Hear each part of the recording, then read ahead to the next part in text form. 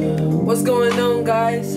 My name is King Zeek. Y'all know me all around the world on King 51015 on my Instagram. I love you all. Today I'm gonna be singing "It Don't Matter to Me" Drake, Future, and Michael Jackson, and it goes something like this. Ooh.